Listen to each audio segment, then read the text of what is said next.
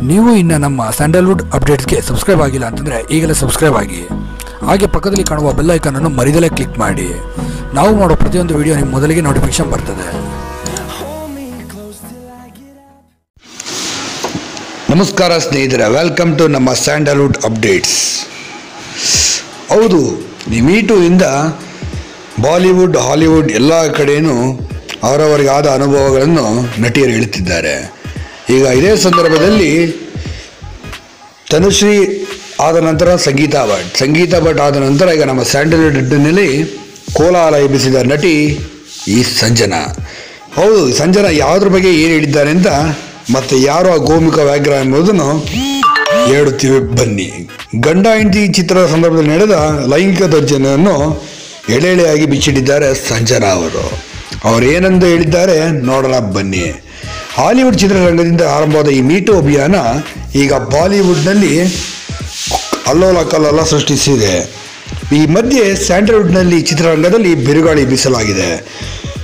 ಮೂರು ದಿನಗಳ ಹಿಂದೆಯಷ್ಟೇ ನಟಿ ಸಂಗೀತಾ ಭಟ್ ತಾವು ಅನುಭವಿಸಿದ ಲೈಂಗಿಕ ದೌರ್ಜನ್ಯವನ್ನು ನಾವು ನಿಮ್ಮ ಮುಂದೆ ತೆರೆದಿಟ್ಟಿದ್ದೇವೆ. ಅವರು ಹೀಗೆ ಹೇಳಿ ಆ ನಂತರ ಚಿತ್ರರಂಗಕ್ಕೆ ಕೂಡ ಗುಡ್ ಬಾಯನ್ನು ಹೇಳಿದ್ದಾರೆ. ಹಾಗೆ ಅವರು ಮದುವೆ ಆಗಿರೋ ವಿಷಯವನ್ನು ಕೂಡ ಬಹಿರಂಗಪಡಿಸಿ ಗುಡ್ ಬಾಯ್ ತಿಳಿಸಿದ್ದಾರೆ. ಇದೀಗ ಮತ್ತೊಬ್ಬ ನಟಿ ಅದೇ ಸಾರಿಗೆ ಸೇರಲಿದ್ದಾರೆ ಅವರೇ ಬೇರೆ ಯಾರೂ ಅಲ್ಲ, ಗಂಡ, ಹೆಂಡತಿ, ಖ್ಯಾತಿಯ ನಟಿ ಸಂಜನಾ. ತಮ್ಮ ಮೇಲೆ ನಡೆದ ಲೈಂಗಿಕ ದೌರ್ಜನ್ಯವನ್ನು ಈಗ ಎಳೆ ಎಳೆಯಾಗಿ ಬಿಚ್ಚಿಟ್ಟಿದ್ದಾರೆ. ಗಂಡ ಚಿತ್ರದ ಸಂದರ್ಭದಲ್ಲಿ ನಿರ್ದೇಶ ನಿರ್ದೇಶಕ ರವಿ ಶ್ರೀವತ್ಸ ಬಲವಂತವಾಗಿ ಒಂದು ಕಿಸಿಂಗ್ ಸೀನ್ ಇದೆ ಎಂದು ಹೇಳಿ ಐವತ್ತಕ್ಕೂ ಹೆಚ್ಚು ಕಿಸಿಂಗ್ ಸೀನನ್ನು ಮಾಡಿಸಿದ್ದಾರಂತೆ. ಹೌದು, ಈ ಮಾತು ನಿಜ ಎಂದು ಹೇಳಲಾಗುತ್ತಿದೆ. ಬ್ಯಾಂಕಾಕಿನಿಂದ ಅವರ ತಾಯಿ ಅವರಿಗೆ ಮುಂಚೆನೇ ಕಳಿಸಿ, ನಂತರ ಒಂದು ಕಿಸಿಂಗ್ ಸೀನ್ ಅಂತ ಅವರ ತಾಯಿ ಮುಂದೆ ಹೇಳಿ ಅವ್ರಿಗೆ ಅಲ್ಲಿಂದ ಇಂಡಿಯಾಗೆ ಕಳಿಸಿದ್ದಾರಂತೆ. ನಂತರ ಐವತ್ತಕ್ಕೂ ಹೆಚ್ಚು ಕಿಸಿಂಗ್ ಸೀನನ್ನು ಮಾಡಿಸಿದ್ದಾರೆ. ಹಾಗೂ ಅಲ್ಲಿ ತಿರ್ಗಾ ಪ್ರಶ್ನೆ ಮಾಡುವಂತೆ ಇರಲಿಲ್ಲವಂತೆ. ತಿರ್ಗಾ ಪ್ರಶ್ನೆ ಮಾಡಲು ರವಿ ಶ್ರೀವಾಸ್ತವ್ ಅವರು ಕೂಡ ಬಿಟ್ಟಿಲ್ಲ.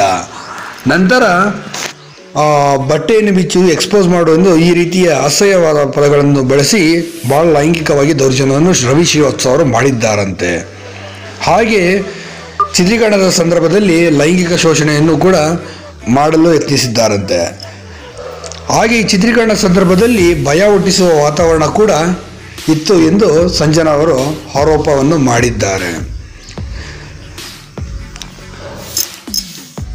ತಂದೆ ನನ್ನ ಜೊತೆ ಇರಲು ಅಡ್ಡಿ ಮಾಡುತ್ತಿದ್ದರು ಅಲ್ಲದೆ ಫೈನಾನ್ಷಿಯಲ್ ಜೊತೆಗೆ ಪಾರ್ಟಿಗೆ ಬರುವುದಿಲ್ಲ ಎಂದು ಕೇಳಿ ಹಿಂಸೆ ಮಾಡುತ್ತಿದ್ದಾರಂತೆ ರವಿಶ್ರೀ ಶ್ರೀವತ್ಸ ಇವಾಗ ಈ ನಿರ್ದೇಶಕನ ಬಗ್ಗೆ ಸಂಜನ ಅವರು ಸ್ಫೋಟವನ್ನು, ಬಾಂಬನ್ನು, ಒಂದನ್ನು ಸ್ಫೋಟ ಮಾಡಿದ್ದಾರೆ.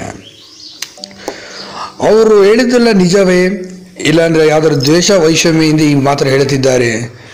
ಇದ್ಯಾವುದು ಪ್ರಶ್ನಾರ್ಥಕವಾಗಿ ಉಳಿದಿದೆ. ಆದ್ದರಿಂದ ನಿಮಗೆ ಈ ವಿಡಿಯೋ ಬಗ್ಗೆ ಏನಿಸ್ತು ಅಂತ ನಮ್ಮ ಕಮೆಂಟ್ ಬಾಕ್ಸ್ನಲ್ಲಿ ತಿಳಿಸಿ.